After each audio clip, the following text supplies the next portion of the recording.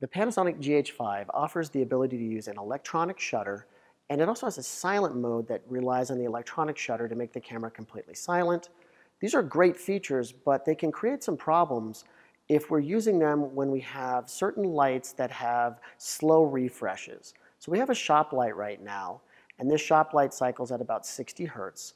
And I'm going to use a mechanical shutter to take a picture of Emily. And as you can see when we play it back, we get a great looking image. We get the lighting that we were expecting.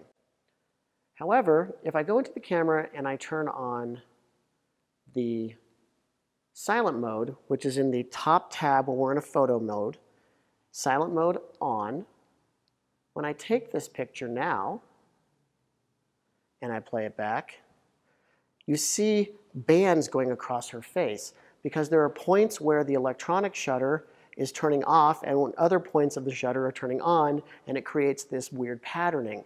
So keep in mind that you don't want to use this when you have mixed lighting situations or lights that are very slow to refresh. There's a way to preview this so that you know what's going to happen. And that's if you're in the manual mode, which I'm in now. So if I'm in manual mode, go to monitor display settings and turn constant preview on.